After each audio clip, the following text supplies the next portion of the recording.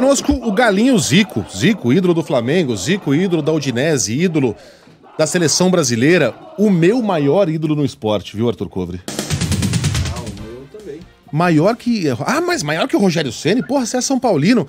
É, mas quando o Rogério Ceni estreou no São Paulo, já era moço grande. A época de você ter ídolos é quando você é garoto. E o Zico foi meu ídolo de garoto, o maior de todos. Nunca falei isso pro Zico, falo hoje. E no final da entrevista vou contar uma história divertida aqui, mas muito triste, envolvendo é, essa minha relação. É, divertida, mas muito triste? É, é tri, foi tá triste para mim na época, mas agora que já passou é divertida. Ô Zico, bom dia, Galinho. Obrigado pela presença aqui na Band News FM. Bom dia, Megali, bom dia o Xará Arthur, bom dia Sheila, Carla, todos aí da Band News. Bom dia. É um prazer grande bater um papo aí com vocês num, num momento aí complicado e triste para quem ama futebol, quem gosta do futebol. E muito obrigado pelo carinho, viu, Megali? Vou contar a história mais tarde, Galo. Agora eu queria falar do Maradona. Você e ele tiveram uma trajetória muito parecida, né? É, a sua primeira Copa foi em 78, a dele deveria ter sido. Você deixou o maior clube do Brasil e foi para um clube de pequeno porte da Itália e lá fez muito sucesso, mudou a história desse time, da Udinese, e o Maradona fez o mesmo com o Napoli. É, na época, eu contava aqui mais cedo, não havia discussão se Maradona era melhor que Pelé, se Pelé era melhor que Maradona. A discussão era quem é melhor, Zico ou Maradona. Como é que foi a sua trajetória em paralelo com a de Maradona e o que é que você mais lembra do camisa 10 da seleção argentina? Ah, é, é, quiseram sempre colocar em pauta essa questão de uma rivalidade, né? Já existe a rivalidade Brasil e Argentina. Então, aí, nós da mesma geração, eu sempre considerei o Maradona o melhor da minha geração. Ele era um jogador espetacular, é um cara que encantava e ah, vi momentos dele fantástico na Argentina, mas depois que ele foi para a Itália, mais ainda. Então, acabei me tornando amigo dele.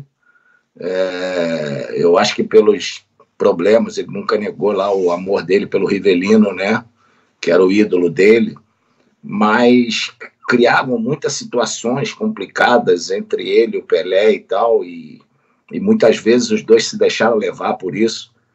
E eu acabei é, tendo um relacionamento com ele muito bom, maravilhoso, né? Eu conheci de perto, era um cara muito generoso. Infelizmente, no momento do auge dele, acabou escolhendo outros caminhos e isso complicou um pouco a vida dele. Mas é, a gente sempre teve um tratamento de muito respeito. É, eu, eu joguei contra ele a primeira vez com, com a seleção da FIFA de 78, né? E contra o Argentina campeão do mundo, isso foi em 79, era o time campeão do mundo com o Maradona. E foi a primeira vez que nós nos enfrentamos. E dali em diante foram diversas vezes e tal, mas sempre como só rivais, não como inimigos.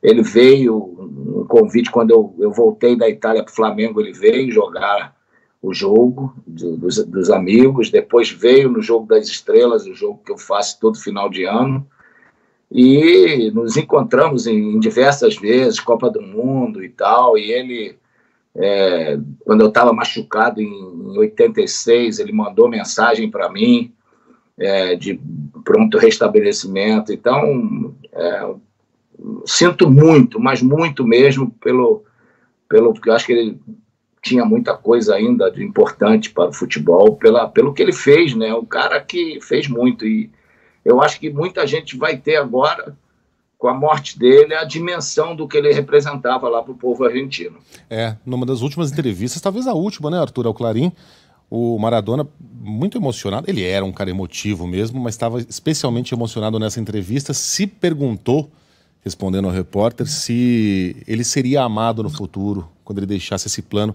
Pena que ele não está vendo né, o que está acontecendo claro. no Nápoles, na Casa Rosada. Ô Galo, agora vocês jogaram muitas vezes um contra o outro, agora, para sua sorte, para dele também, nem você tinha que marcar ele, nem ele é você, né?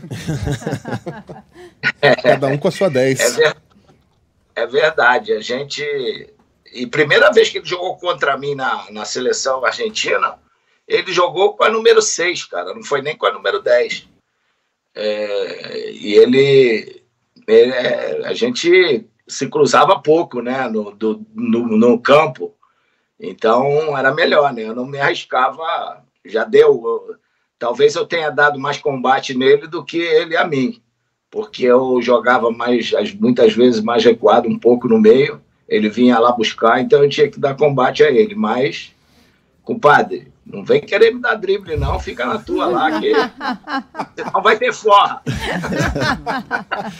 Por falar em um desses confrontos, e que eu queria até confirmar com você duas informações. É, o último jogo, o último confronto entre vocês na Itália foi aquele 2 a 2 o Dinese e Napoli em 85 e foi o seu último jogo no futebol italiano também? Foi, foi o jogo, foi, foi o jogo do treinamento dele da mão de Deus, né? Porque nós estávamos ganhando de 2 a 1 um, e na, no, faltava assim dois a três minutos e o, o Bertoni cabeceou a bola na trave, voltou para ele e ele deu um soco na bola e fez o gol do empate. Eu brinquei com ele muitas vezes, eu falei, você treinou lá em Udine para depois fazer na Copa, né? Então, eu, eu ali apelei muito com o juiz, quando o time na, no caminho para o vestiário. Aquele era o último jogo, o penúltimo jogo. A gente ia jogar, ter mais um jogo fora mas a gente já estava livre do risco lá de, de, rebaixamento, aquela coisa toda. E eu tomei uma, uma suspensão de quatro jogos. Então aquele jogo foi o último meu é, oficial lá no Odinese. Ô Galo, em 86, já que a gente falou da mão de Deus aqui, você estava lá com a seleção brasileira, Maradona dando aquele show com a seleção argentina. Eu estou procurando aqui os cruzamentos, mas eu ainda não encontrei. Não sei se o Brasil enfrentaria se passasse pela França, a Argentina na semifinal ou se na final. É, vocês estavam na concentração? na final. Era na final, a né? A gente enfrentaria a Alemanha. Isso, a Alemanha na semifinal e aí a Argentina é, na fi... que é. final seria essa? E, e... vocês estavam vocês estavam vendo esse jogo na concentração? Vocês viram ao vivo aquele show do Maradona? Ah, eu não lembro não, não lembro não. Eu, eu a única coisa que eu lembro ali é porque quando eu fui dirigir um time, ao time do Goa na, na Índia, um dos comentaristas, a gente sempre conversava lá, era um ex-jogador da seleção inglesa que estava naquele jogo. E ele não, não viu nada a respeito daquela aquele famoso gol com a mão. Ele disse que ele estava dentro do campo, estava no lance, mas não, não, não chegou, não viu que tinha sido com a mão, não. Todo mundo falando, e, então o cara era maestro mesmo. Mas você não lembra do momento, mas como é que eram as repercussões ali na concentração? sobre a atuação do Maradona com a seleção argentina. Vocês olhavam e falavam, porra, a gente vai ter que pegar esse cara na final, ele tá comendo a bola. Como é que vocês, entre si, falavam da atuação dele na Copa? Ah, a gente não, não tinha problema com, com, com a seleção argentina, não, viu? A gente, eu, modéstia à parte, nunca fui derrotado pela, pela Argentina, né? Então, jogar contra a Argentina, meu saldo era muito positivo. Então não tinha preocupação com a Argentina, não. Gostava até de jogar. Aliás, contra qualquer um sul-americano, o, o, retrospecto é só de vitórias. E não, não, não tive nenhuma derrota aqui no, pela seleção brasileira no, na, na América do Sul. Ele pode falar isso, né? Para quem ligou é. o rádio agora, a gente está conversando que moral, com... Hein? Que moral, Por quê? A gente está conversando com o Zico. Só isso. Só isso. Aqui na Band News FM, Arthur Covre. que o Zico contra o Paraguai, eu não lembro, não lembro em que ano, fez um gol de almanac. Era um gol que eu, garoto, tentava imitar, sou canhoto também. Né? Tenho mais ou menos a mesma habilidade do, do Galinho. Uhum. É, lembra desse gol, a Zico? Imagina. Foi, foi no, no, que era uma Copa América. Você levantou a bola com a, com a costa do pé esquerdo e antes que ela caísse no pé chão. Pé direito, né? Pé direito. Pé esquerdo é o Maradona. É, é, foi com o pé direito, né? É, e emendou antes que ela caísse no chão. Foi, foi o jogo da, da, das eliminatórias lá no Paraguai. O Leandro me deu um passe, eu vinha na corrida, só que o campo era muito ruim e a bola quicou. No que ela quicou, eu passei da bola, mas consegui puxar com o calcanhar e o zagueiro vinha, ela passou por cima da perna dele. E aí eu, sem deixar cair, bati no. Bati de primeira no canto e, e aquele gol ali praticamente é, não só deu a vitória naquele jogo, mas também a classificação, porque a gente ia ganhar da Bolívia ia jogar por um empate no, no, no Brasil para se classificar para a Copa. Zico, sabe o que eu queria te ouvir? eterna discussão e ela nunca vai morrer, essa nunca vai morrer de quem foi maior do que quem, né? E aí rende para mais um século aí o debate. Mas eu queria te ouvir sobre o Maradona como personagem, não como jogador, mas como personagem da história, né? Claro, a principal atuação dele como jogador, mas o Maradona, uma figura extremamente marcante. Eu tô lendo as mensagens dos nossos ouvintes e os ouvintes estão falando assim: "Mas ele não era exemplo para ninguém, até em função da relação com as Aí. drogas e tal. Mas como personagem da história, por ser tão controverso pelas posições políticas, aliás, sempre se posicionou muito politicamente, porque foi preso pela relação com as drogas também. Queria te ouvir sobre esse personagem da história. É, né? Mas é, eu, eu acho que isso aí acaba ficando tudo em segundo plano, né? Porque ele fez tanta coisa é, no futebol, né? Para, eu acho que mais para o povo argentino.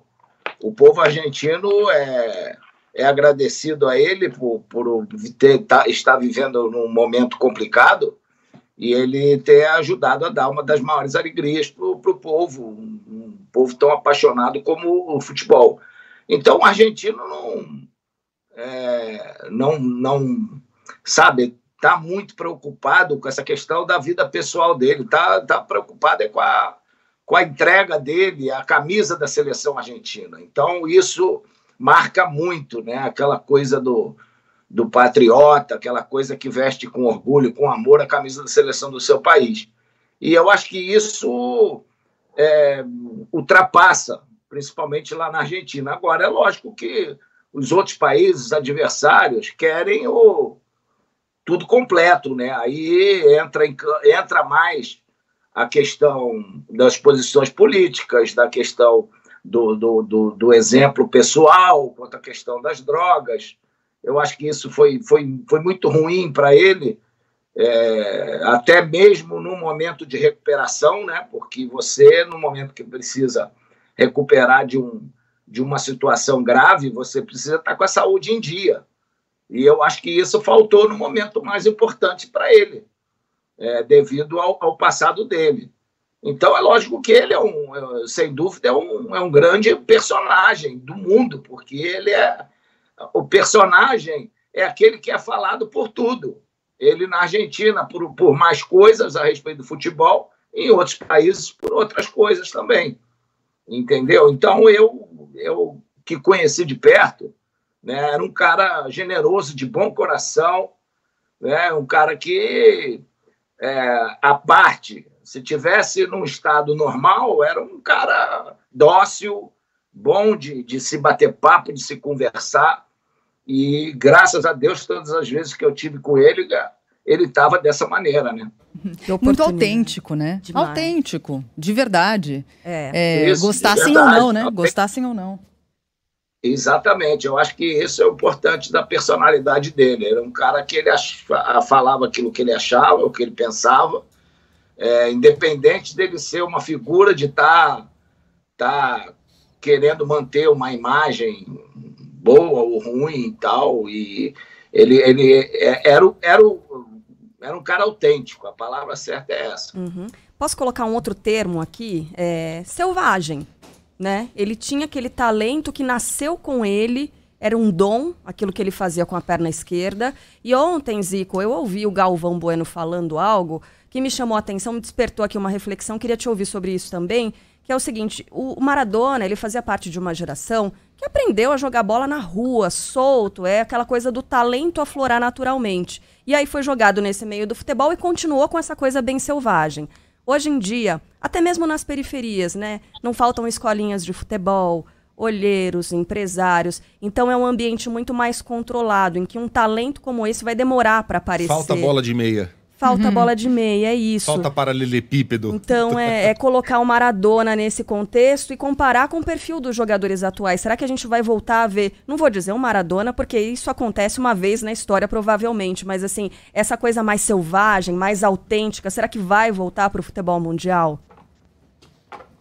É muito mais difícil, né? Principalmente que é, os campos é, acabaram, né? Os campos de pelada, os campos de rua. É, a gente voltava para casa com a cabeça, a cabeça do dedo rebentada, né? E não tinha essa de, de jogar de chuteira colorida, tênis bonitinho. Era descalço mesmo, na rua, no, como não sei se foi o Arthur Omegali, eles falaram da, da questão do paralelepípedo, tabelar com a parede, essas coisas todas. Então, na nossa época, os campos eram ruins também. Então, aqueles que jogaram pelada se davam melhor, porque a bola não vem como é, ela vem hoje, os campos maravilhosos, é, não tem buraco, o campo sintético também, hoje, que é a maioria. Eu acho que as escolas de futebol, elas, elas também podem fazer um belo trabalho. Eu tenho escola de futebol e, e a gente dá oportunidade a muita gente, porque você não tem os campos para a prática. Então você tem que ter alguma coisa para jogar bola, motivar os garotos a jogar bola. Então, nem que seja num campo sintético, os meus lá tem campo sintético e tem a grama.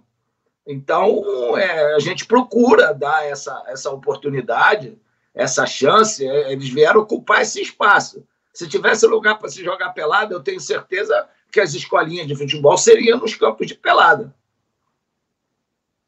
Zico, para encerrar mais uma, é, você gravou um vídeo é, nas redes sociais dizendo que o, o, o Maradona entra para a lista dos cinco maiores, né? Garrincha, Cruyff, Pelé, Beckenbauer e Maradona. Tem ordem nessa lista aí, não? Ah, tem. Pelé? Tem sim. Pelé, Garrincha, Maradona, Cruyff e Beckenbauer. E você entraria onde, Zico? Nada, eu ficava no banco lá aplaudindo ele. Ô Galo, deixa eu contar a história aqui. Já falei que o meu grande ídolo de infância era o Zico, embora São Paulino, eu, eu, eu era meio flamenguista também, por causa do Zico. Né? Quando parou de jogar, o meu interesse pelo Flamengo desapareceu. E quando eu tinha 7, 8 anos, meu pai me levou até o Rio de Janeiro. A gente foi de trem da Prata Ainda tinha o trem da prata, olha como a gente tá ficando velho. E, e, e meu pai me levou para ver um treino do Flamengo na Gávea. E eu vi aquele treino e eu tenho foto com os jogadores, estava usando a camisa reserva do Flamengo, que era aquela branca, Sim. com as mangas né, é, rubro-negras. E à medida que os jogadores iam saindo, meu pai abordava e falava: tira uma foto com meu filho, a gente veio de São Paulo e tal. Ô, ô Galo, tirei foto contigo, Tirei foto com o Adílio, tirei foto com o Leandro, tirei foto com o Moza, com o Bebeto, garotinho. Tirei foto até com o Márcio Braga. Todo mundo. Que Mas... time ruim esse, hein? É, timeco. Mas a foto que me interessava era do Zico. Aí voltamos para São Paulo, vamos revelar o filme. A foto do Zico queimou. Ah. Só essa? Cara, palavra de honra. Eu conto essa história, todo mundo acha que eu não tirei foto coisa nenhuma. Tirei. Meu pai é testemunha lá. Agora a gente vai tirar uma não foto aqui contigo, isso, Galo. É isso, Pronto. Zico Megali Sheila, tô tirando. Faz ah, o Zico tá sorrindo, é? Ah lá, lá, Megali faz... X, faz X. O, Galo, faz 35 anos que você tá me devendo essa foto. A gente tá Aí. tá tirando uma foto minha agora. Junto com o telão aqui. Pronto, Pronto sonho cumprido. Parabéns. o Zico fez até, ó, deu um sorrisinho, gostei. Não, cara de foto.